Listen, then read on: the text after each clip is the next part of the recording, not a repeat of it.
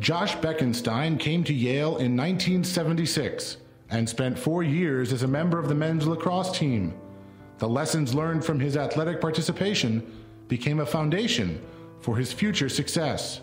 Team sports and athletics in general is a great lesson for life. It teaches so much about how, how, to be successful later in life. One is the team. Being on a team really teaches you to work with others, to know that the greater good is from everyone playing their role, uh, that you have to be a great teammate. And I also think varsity sports uh, teaches you about working hard.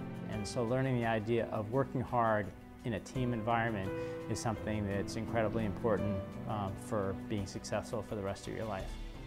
But it was the caliber of the people he met, both on the lacrosse field and off, that would make a lasting impact on his life after graduation as he settled in Boston. My greatest memory of Yale was just all the friends and, and folks I met there. I, I thought it was just really fantastic. What a terrific group of people there were at Yale. And I had lots of role models at Yale and people I admired. And so trying to see if I could find a way to be with excellent people and smart people and nice people the rest of my life is something that uh, I really uh, came home from uh, four years at Yale. However, Bekenstein would say it is not only people that help to ensure personal and professional success. You know, I always tell people that uh, life is a combination of luck and skill. And if you can have both, that's good. And if you can only have one, you should go with luck. Uh, and so luck uh, definitely helped me with my career path. I, I worked at Bain & Company uh, coming out of college, coming from Yale. And then from working at Bain & Company, uh, I met my partners who we started Bain Capital together with. And so uh, it was uh, lucky that I found a great firm at Bain & Company to work at. And then from there, I found some great partners to start Bain Capital with. Bain Capital has grown to more than 900 people and has made private equity investments and add ons in more than 350 companies across a variety of industries and has approximately $80 billion in assets under management. This incredible financial success has made Bekenstein and Bain Capital hallmarks of Boston philanthropy. But it is not the financial and philanthropic success of the company that Bekenstein holds most dear. I've been at Bain Capital 31 years. Uh, we've developed a lot of fantastic people and we have over 900 people around the world and they're terrific people. They're really smart professionally, uh, but they're uh, really great uh, from the standpoint of good citizens and people who care a lot about their communities. And uh, being able to be part of, of building a great team and, and being part of a team that cares a lot about more than just being successful in business is something I'm really proud of. Of all of the members of Bekenstein's team, Six are particularly important.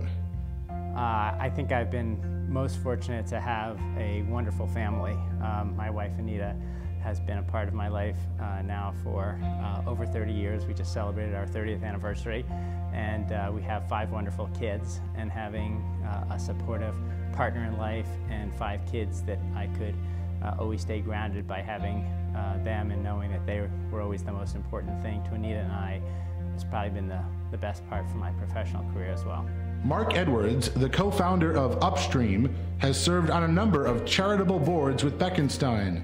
I think another thing about Josh, which is um, uh, so appealing and candidly has made a big influence on my life, is how he engages his entire family in the work that he does. Um, you know, all of his kids have, in their own ways, been engaged in the kinds of things that um, he has spotted that he knows are making a real difference in people's lives. It really shows you just how authentic his um, beliefs are about how he can make a difference in the world. And so it's just so fun now, having seen his kids grow up, to see how they're all in their own individual ways, very engaged and really making the world a better place. With his family's unwavering support, Bekenstein serves on the board of multiple companies, including Michael's Stores, Toys R Us, and Tom's, all while chairing the board of the Dana-Farber Cancer Institute. It's a different city because of the role that Josh has played.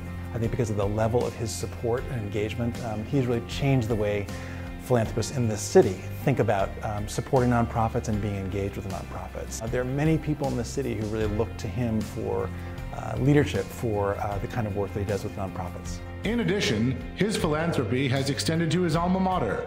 Bekenstein serves as a member of the Yale Corporation, was co-chair of the Yale Tomorrow campaign, and is an at-large member of the University Council.